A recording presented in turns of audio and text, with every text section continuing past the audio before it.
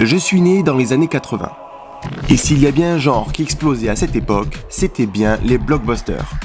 Je vous propose un voyage dans le temps, à l'époque des vidéoclubs, à l'époque où le président américain était une star de cinéma, une époque où le téléphone mobile vient tout juste d'être inventé, une époque qui introduit le laserdisc dans tous les foyers, une époque où Michael Jackson sort Thriller, l'album le plus vendu au monde, mais aussi une époque tristement célèbre avec la catastrophe de Tchernobyl, le plus important accident nucléaire du XXe siècle, ou encore le VIH qui se répand dans le monde et devient un problème majeur. Bref, on monte sur les tables, on lève les bras bien haut, allez, c'est parti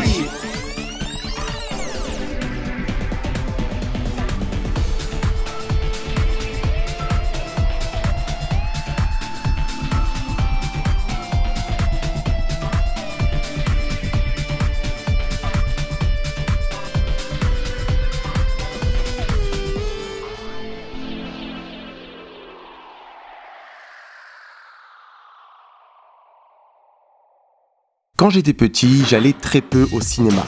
Pour vous dire, mes deux plus vieux souvenirs sont La famille Pierre à Feu et Independence Day, sortis en 1996. Du coup, ma culture ciné s'est faite dans les vidéoclubs.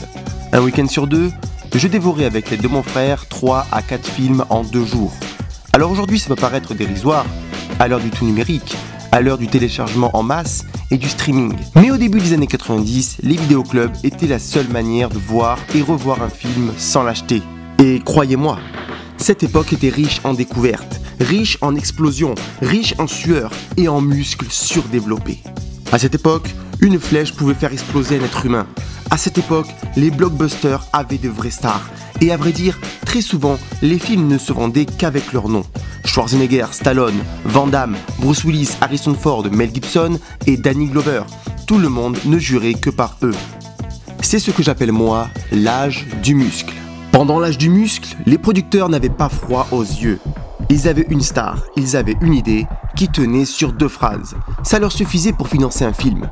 Alors oui, pas mal de boîtes ont fait faillite, mais combien d'autres ont créé des chefs-d'œuvre, des films qui ne vieilliront pas, et des personnages que nous rêverions d'être encore aujourd'hui. Alors oui, même si je ne peux nier que la qualité du scénario était relativement peu élevée, ce sont des films populaires qui attirent les foules.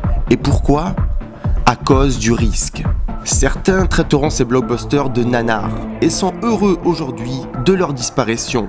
À cela, je répondrai Soyez, heureux. Soyons Bref.